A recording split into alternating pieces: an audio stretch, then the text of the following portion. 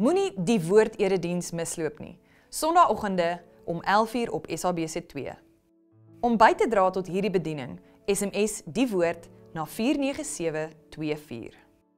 Goeiedag, baie dankie dat jy ingeskakel het en ons gesels nog steeds oor goedheid. Goedheid is ook 'n bewys, 'n bewys van iets. Ons lewe in onsekere tye. Mense soek waarde vir geld, mense soek kwaliteit. Ek het iets gekoop, ek het geld spandeer en ek wil waarde daarvoor hê. So die vraag eintlik vir vandag is watter waarde, watter bewys is daar in goedheid? So kom ek lees vir jou uit Efesiërs 2 vers 7 om bietjie oor die waarde, die bewys te gesels. Hy sê so sal God ook in die tye wat kom bewys dat hy heeltemal oorloop van genade. Die goedheid wat God ons deur Christus Jesus gegee het, sal as bewys dien. God se goedheid sal as bewys dien. Nou soms moet ek die kaart by die kantoor van die bankkaart en iets gaan aankoop. As ek terug is sou die boekhouer dadelik wou weet, waar is die bewys van jou aankoop?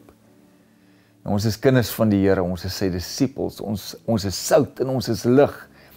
En ek dink daar's 'n uitroep van die wêreld van waar's 'n bewys van sy goedheid?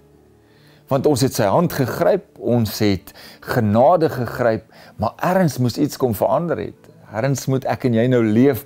Erns moet mense God se goedheid raak sien.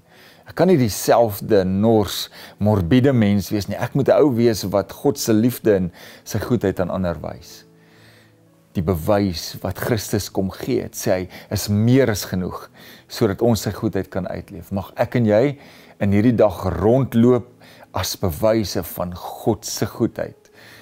En ek gaan bid dat die Heilige Gees wat die vrug in ons lewe kom wakker maak, kom deel maak vir ons dat die Gees van God ons sal help om in hierdie dag sy goedheid aan mense te wys. Kom ons bid saam. Hemelse Vader, Dankie dat ons kan oorloop van u goedheid en van u genade. Dit wat u deur Christus Jesus eintlik in ons lewe ingebring het, deur die Gees wat in ons harte woon, help ons om in hierdie dag 'n bewys te wees van u goedheid in Jesus Christus. Amen. So kom ons gaan uit en ons wees bewyse van God se goedheid en sy liefde. Sien jou môre.